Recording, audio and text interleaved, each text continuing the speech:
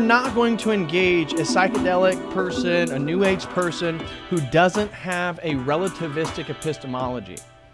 When you get down to it, they, they want to make all these objective claims. They want to tell you what's truth. They want to tell you how reality really is, how the universe really works. And then you ask them, well, how are you able to do that based on your own worldview? Everything's relative and subjective. They don't have an answer. They don't have an answer.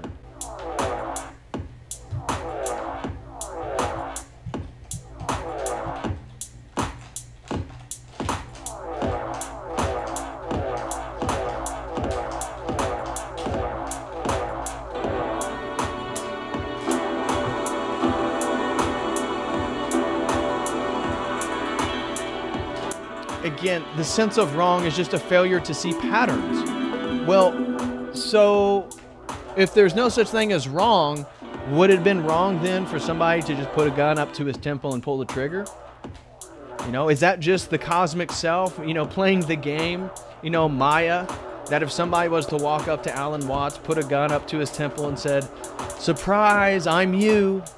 You know, life and death is an illusion. See you on the other side and pull the trigger. That must be that, that's fine.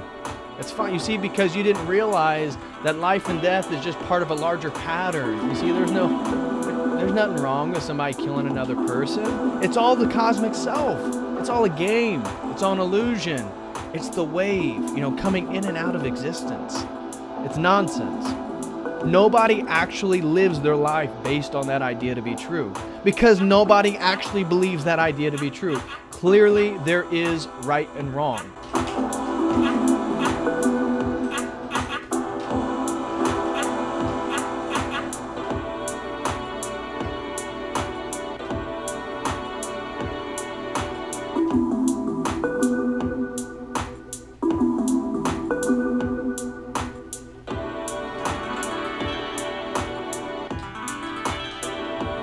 Even again, we look at BLM, we look what's going on in this country, we look at the most progressive groups.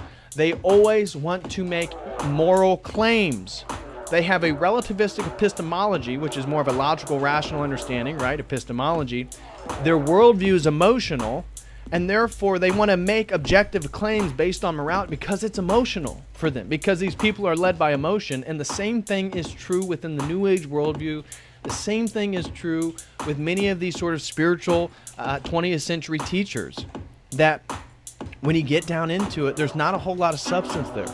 There's not a real foundation for knowing.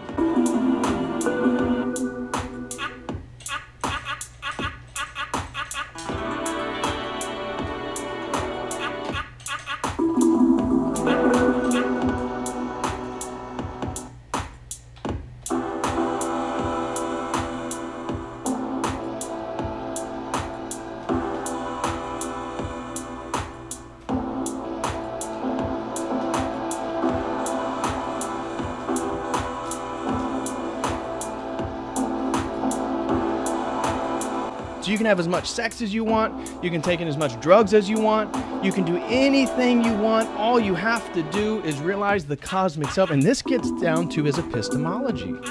How do we know anything? Well, that becomes very tricky in Alan Watts' teachings because he begins to contradict himself. He presents what's obviously a very relativistic framework, but at the same time, he always appeals to science and psychoanalytics and the academy and then he creates he teaches that stuff right because it's so it's so uh, myopic it's so microscopic it's so limited in its perception of what's going on in the world that then he, that he negates that. He negates that then for his extremely general abstract ambiguous ideas.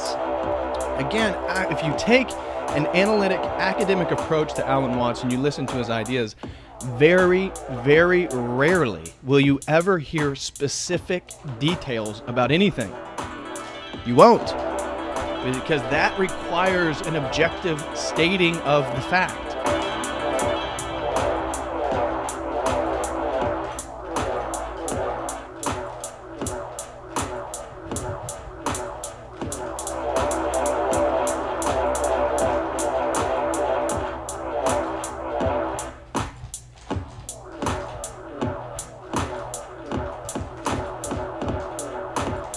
His worldview And the idea that to truly understand reality is to truly understand that there are no distinctions, boundaries between things, that is the point of psychedelics. This is the point of the progressive mentality that we talk about in regards to politics, about the boundaries between male and female no longer exist. The boundaries between nation states no longer exist. The boundaries between biology and technology no longer exist. Transhumanism. The whole point of the progressive, and again, as Christians, we would say the satanic worldview is to dissolve all boundaries between things because once you do that, again, we get back to the same old mantra the greatest trick the devil ever pulled is to convince people he didn't exist.